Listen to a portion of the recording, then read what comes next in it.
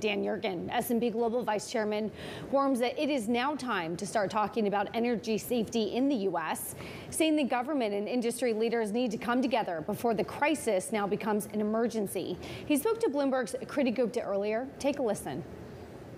Energy security fell off the table in the United States as we became self-sufficient in energy. And in fact, it was like amnesia. It was not only taken for granted, it was just forgotten.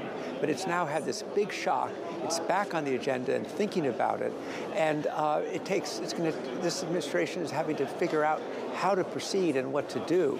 And one of the things that really needs to happen when you look back at every oil crisis, going back to the Korean War and the 1956 Suez crisis, you had a close cooperation and collaboration between government and industry. That has to happen here to understand what's happening in the market and to manage the logistics and complexities because what's happening is, is the now established supply chains are buckling.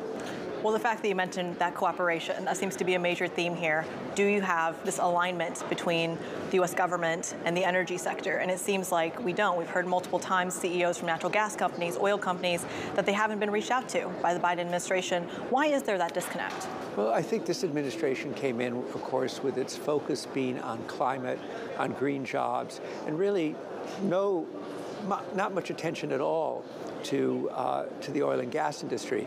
It only started to change at the end of last year when gasoline prices started to go up and you had the energy secretary actually call for more production.